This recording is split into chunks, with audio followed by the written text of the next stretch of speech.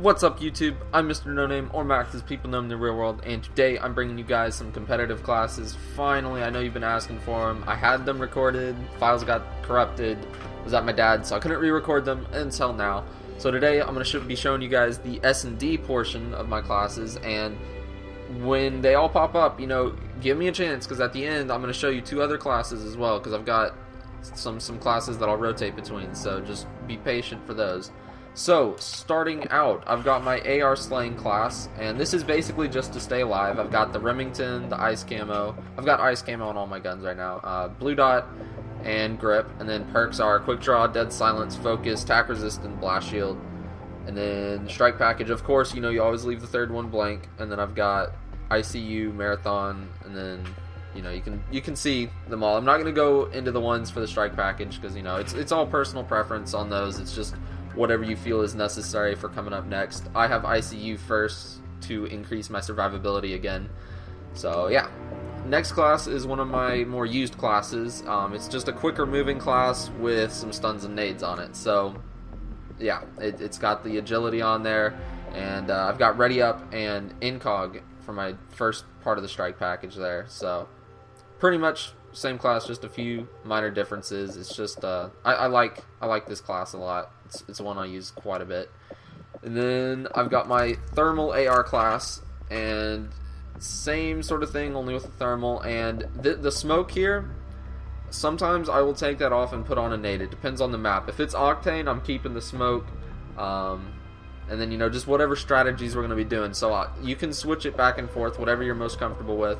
And of course, I have incog so that I can't be seen. And then I've got blast shield and tac resist as the first part of my specialist. Alright, next class is my Special 1 class, and I also have Special 2 and Special 3, and those are the other classes I'm going to be showing you and once I'm done with this short list here.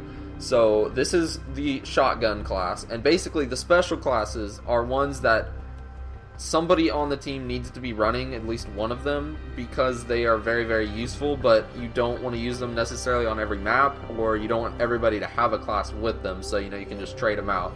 So we got the Bulldog, Ice Camo of course, and then we got Muzzle Brake and Extended Mags, just so that you can spray them down and everything. For perks, I, I completely decked myself out with perks on this. Um, you could run a secondary or lethal or tactical, it's, it's preference, but this is just being able to get in there quick and kill people. So I got ready up, agility, marathon, steady aim, dead silence, and tac resist. You may have noticed I don't have focus.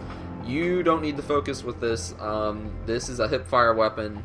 Just go in there and spray. This is mainly for the map Sovereign. If you guys haven't figured out yet, S&D Sovereign, you want to pull this Bulldog out and you just want to get in that building and kill people.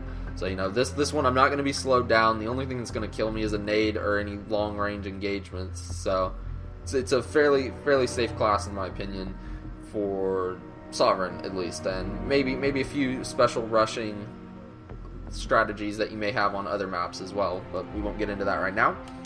Alright, next class is my Vector class, and, you know, Ice, Blue Dot, Grip, and then I've got a Semtex and a Concussion. Of course, these are preferences. You can put on what you want. Then I got Ready Up, Marathon, Steady Aim, Dead Silence, and Focus. And I know some people don't like to run the Ready Up, Steady Aim combination on the Vector. They like to put Quick Draw on instead. I don't feel like it's really necessary though. I, I, like to run it like this. I use this as a more aggressive submachine gun class than my MTAR class, which I'll show you in a minute. Um, this one is for any rushing that I might be doing in S&D uh, if I don't want to use a shotgun. So yeah, that's what this class is for. And of course, strike package right there, blast shield, attack resist, and then you know the bonus. And then my MTAR class, and remember this is not the last one because I got two more to show you. My MTAR is basically the same thing as my Vector class. It's just it's it's better at a distance. Um, it's actually exactly the same except for the weapon. So yeah, you know, just getting in there quick and killing people. All right, so now let me see. I'm gonna go down to this person. I just have it set up here so that I can show you. The Special 2 class is actually an LMG class, and this may surprise some people, but we got the Thermal and Grip, just so that you know you can keep your aim on. And then Agility, Quick Draw, Dead Silence, Focus, and Blast Shield. So, you kind of need agility with an LMG because you're just so slow moving. It's absolutely ridiculous. It lets you get out of some situations sometimes. So, you know, it's it's always good. Uh, you know, some people might sacrifice some of that to get incog right away. I, I prefer to just get incog later. Um, I've got it as the first one and then ready up and then my bonus. This class is for playing extremely passive. Uh, it's good on maps such as Octane or if you're playing back on Sovereign and you don't want a sniper. Um, you know, just situations like that. Maybe a Warhawk if you want to look over some long ranges and whatnot. I mean, it's it's people don't expect it usually, so it's it's a nice little class to throw out. Of course, if you want, you can put on like a trophy or whatever. It's just whatever your team needs you to run. So yeah, and then the last special class is my sniper overkill class, and this is probably the most personal preference class you can have. Uh, when it comes down to a sniper, it's whatever you really want to put on it.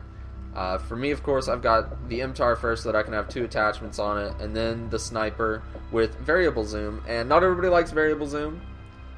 Some people like the thermal. I I don't know. I don't snipe too much. That I usually don't put on this class, but this is this is what I would normally run on it. And then quick draw, dead silence, overkill, focus, and then you know I get incog way way later on at a, as the bonus. So uh, you know, you might want to change this up if you are planning on doing the pre-snipes and whatnot. Um, you, you, you might want that incog, so you, you, what you might have to do there is just have a sniper and then a pistol. But, um, you know, I don't pull this class out very often, but yeah. So the three special classes, you just want somebody on, you know, each per three three people on your team need to have the class in there. Like one of them, like one person have the shotgun, one have the LMG, and one have the sniper. Generally, though, I would have, uh, you know, you can double up then with your fourth. He can have a, another one of whatever, and of course, you know, personalize it, do what you want with it. But uh, yeah, that's all the classes for you guys. So, as you guys can see, we're coming to the end of this video. If you enjoyed it, then please like, comment, and or subscribe. If you didn't, let me know what I can do better next time in the comment section below. And I forgot the rest of my outro, so yeah, I'll see you guys next time. I think I got close. I don't know. We'll see.